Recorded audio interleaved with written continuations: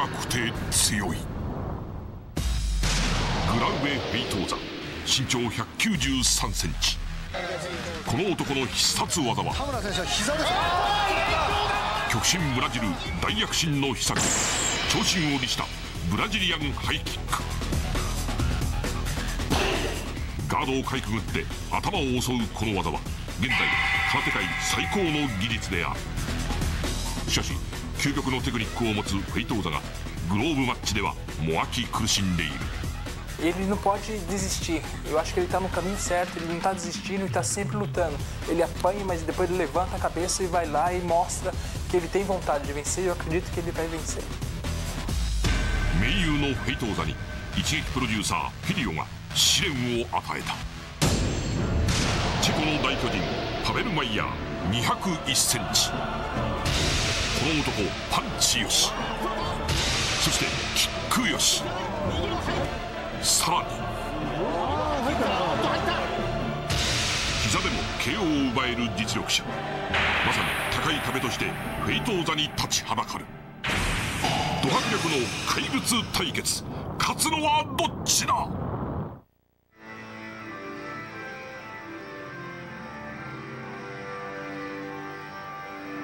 ブラジリアンハイキックが稲妻と化す。極真ブラジルのエースグラウベ・フェートーザ。お待たせいたしました。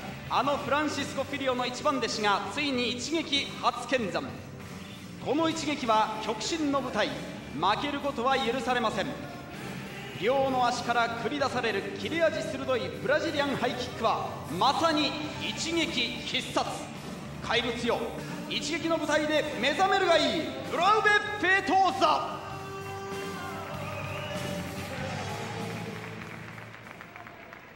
一撃最大のピンチ。人間離れしたモンスターが今極真に襲いかかる。パベルマイヤー。日本武道館が揺れます。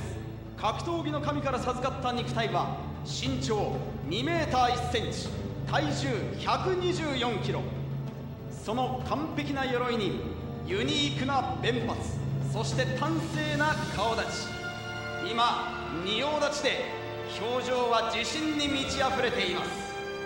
果たして極真のグラウベ・フェートーザはこのモンスターを退治することができるのか。震度計は振り切られた人間マグニチュードパベルマイヤー。今トップロープからリングイン。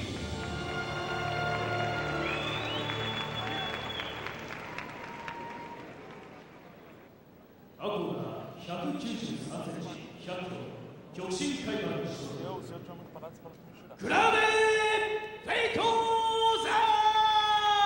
真ブラジルのエース一撃初参戦グラウベフェイトーザ赤コーナー201センチ115キロハヌマーンジム所属パベルマイヤー！2002 K1 ラスベガス大会準優勝チェコの巨頭パベル・マイヤー！友竹隆夫川本英二レベリー大谷敦三強プレゼンツ一撃スーパーファイト。一撃打撃ルール3分5ラウンドで行われます。日本武道館がどよめいています。一撃始まって以来の超ヘビー級対決となりました。極真フェートーザは193センチ。パベル・マイヤーは実に2メーター1センチ。あのボブ・サップよりも1センチ高い身長です。さあ一撃が最大のピンチを迎えました。極真フェートーザはこのモンスターを退治することができるんでありましょうか？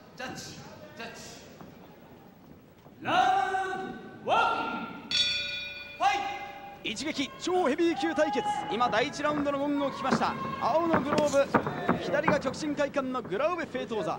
一方右2メーター1センチチェコハヌマーンジム所属パベルマイヤーです。両者初対決ということになります。まずは左のミドルを蹴っていきました。グラウベ・フェイトーザ。右のロー。キックでまずは自分のペースを掴んでいきます。一方パベルマイヤーはまだ一つも技を出していません。相手をじっと見ています。右へ左へ動いていく。今初めて動き見せましたパベルマイヤーです。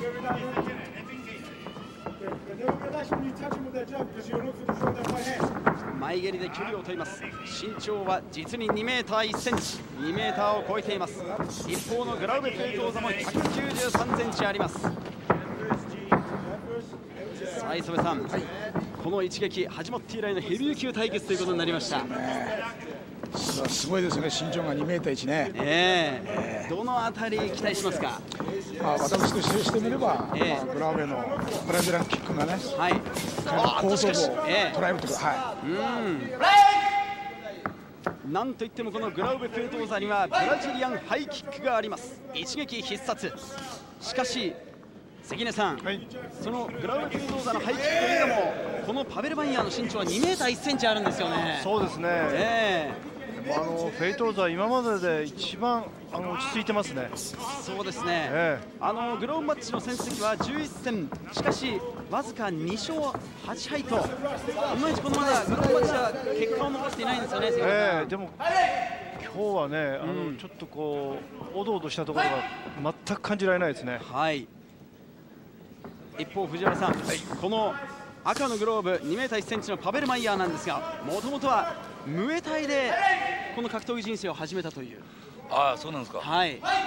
この入れ立ちいかがですか？パンチの打ち方もまあちょっとあのムエタイのパンチじゃなくてまあ肘打ちに近いようなあのパンチを出してますので、えまあちょっとあれ間違えると肘打ちになっちゃいますからね。えそうですね、まあどんだけのあの技を出してくれるかそれが非常にちょっとはい。楽しみになってます、この試合は3分5ラウンドで行われます。一撃初参戦極真の実力者ブラジル極真のエースグラウベ・フェイトーザ左のハイキック。左のロー。第1ラウンドから積極果敢にキックを蹴っていきますグラウベ・フェイトーザ。一方一気に圧力で前へ前へ攻めていきます。チェコハルマンジムのパベル・マイヤー。さあいった左。グラウベの顎を捉えました。マイヤーの左ストレート。さあ間もなく第1ラウンド。静かな第1ラウンドが終わります。さあ最後のラッシュをかけていくパベルマイヤー。チェコの巨塔。第1ラウンドは落ち着いた静かな立ち上がりということになりました。グラウベ・フェイトーザ対パベルマイヤーです。三強プレゼンツ一撃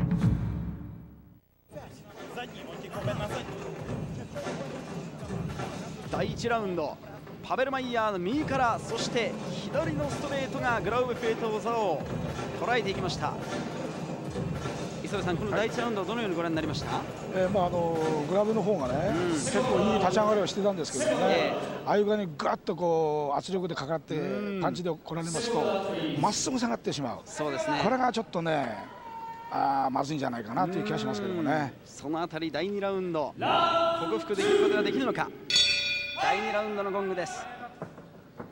このフェイトーザマイヤーに対して、まあ、やはり正面に立ってしまってはその圧力に圧倒される。右左へ動いてローキックではい。局面を打開していきたい、そう話していました。関根さん、はい。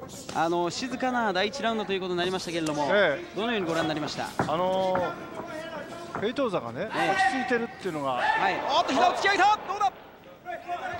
おっとちょっと視線が定まらないかレフェリーがそうですね今。首を掴んでのあの膝をやりましたね、ええ。顔面に入りましたね。レフェリーが一度止めたんですがその後での攻撃ということになりました。さあここでタイムストップを取ります。グラウベ・フェイトーザの体力の回復を待ちます。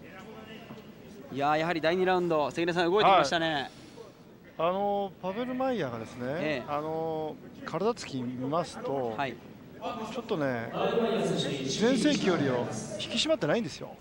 あのー2000年2001年では、ええ。あの K1 のプラハ大会でチャンピオンになりまして、ええ。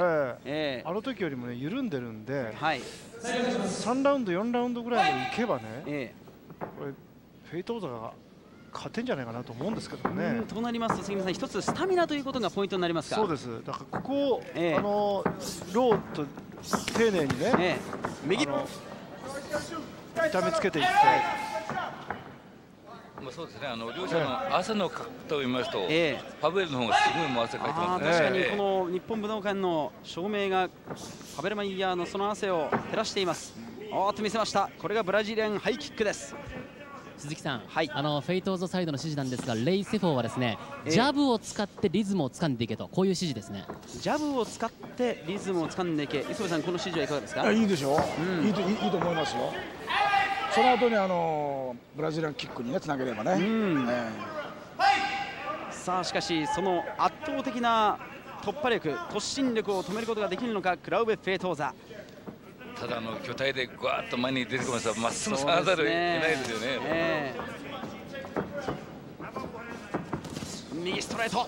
ニュートラルコーナーに追い込んだ。おっとこれで肘を使っている。そして右の膝。はい振り返った。あっと膝の膝で使ったマイヤーの膝がグラウンドフェートーザのお腹を捉えました。圧力はすごいですね。なんとか立ち上がりました。第2ラウンド。残り45秒あります。1つのダウンを奪いました。パベルマイヤーです。あと2つダウンを奪えばこの試合勝利ということになります。さあまたも圧倒的な圧力をかけてこのグラウェフェイトーザその体を蝕んでいきますパベルマイヤーチェコハヌマンジム。201センチ。成長著しいファイターです。左から右。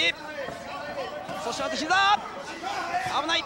回り込んだ方がいいですね。回り込みたい。グラウベフェートーザうんちょっとフェートーザ足が揃い始めましたか？まっすぐ下がってますね。ねえ。マイヤーの圧力に圧倒されています。さあ残りが10秒を切りました。第2ラウンド。持ちこたえることができるのかフェートーザ右のミドル左のハイキック第2ラウンド終了。第2ラウンド。マイヤーのそのパワーがベートーザを襲いました。第2ラウンドチェコの巨頭パベルマイヤーが左の膝を突き上げてグラウベフェートーザから1つのダウンを奪いました。藤原さんこの膝いかがですか？もう完璧ですね。この膝としてればですね。もう相手が逃げられない状態で持っていってますんで。やはりこの辺りはその2メートル1センチという。そうですね。巨体で持ってきますんでね。どうしてもやっぱり自分がこの精神的に圧倒されてますんでやっぱり小さく人間固まってしまいますからね。フランシスコ・フィリオが、うん、少し心配そうに見つめています。第3ラウンドに入りますこの試合は3分5ラウンドで行われます。第3ラウンド。第2ラウンドはパベルマイヤーのそのパワーが圧倒的でした。さあグラウンド系統が巻き返しを図りたい。あーしかし第2ラウンド。おっとここで一つレフェリーから注意がありました。試合が再開されます。あ左のミドル。どうでしょう藤原さんこのフェートーザー、はい、このピンチをどのように打開しましょう？やはりあのあれですねあの巨体であの突進力がありますんで、えもう少しあのフットワークを使って、あのまずまっすぐ下がるふりサイドからこうサイドに回ってサイドからの攻撃というものを仕掛けた方がいいと思います、あーそして今ここでパベルマイヤーに注意1が与えられました。度重なる首相撲でそうですねこれは。注意を与えられました試合再開。青のグローブ極真のグラウベ・フェートーザ。実力者です。あーっと左。重い左のミドルパベルマイヤー。なんとかガードしましたグラウベ・フェートーザ。しかし確実にそのパワー。やはり藤原さん、あの大きな体であーっと首相撲左捉えた。あーっと動きが止まった。パベルマイヤー動きが止まった。チャンスだチャンスだ。フェートーザ。左から右。左。結構結構下がる下がるパベルマイヤー。なんとかクリンチに逃れましたおーっと第3ラウンド。1点グラウンドフェートのチャンスを迎えています。決めている。ブラジリアンハイキック炸裂さあどうだ？勝てるか？勝てるか？パベルマイヤー。立ち上がったパベルマイヤー。さあしかしチャンスだ。フェート王座がチャンス。極真のマシンやれ。フェート王座左の膝。右。完全に動きが止まったパベルマイヤーさあチャンスだ。ニュートラルコーナーに追い詰めた。一気に攻めたい。一気に決めたい。一撃必殺。あーしかしマイヤーも応戦します。ちょっと疲れたがフェート王座おっと今度はマイヤーが膝で押収。あーノーガードの試合。おーっとこれでスタンディングダウンを取りました。この試合2つ目のダウンを奪いました。このラウンド2つ目のダウンを奪いました。グラブフェート王座あと1つのダウンでパベルマイヤーノックアウト負けということになります。さあノックアウト勝利グラブフェート王座一撃必殺ブラジリアンハイキック!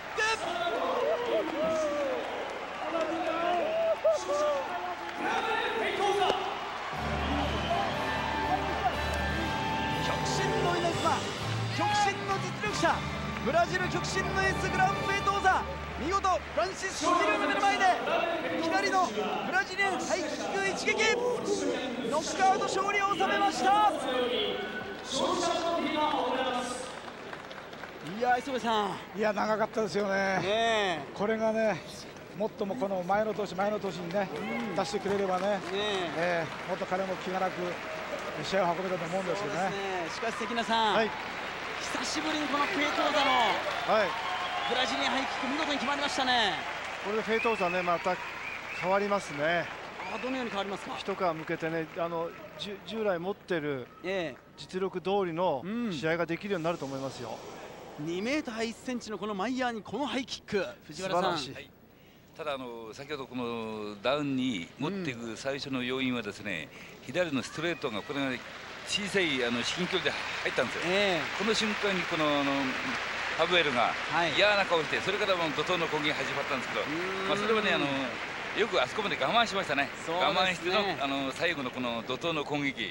素晴らしかったですね。第1ラウンド第2ラウンド耐えてそして見事第3ラウンド。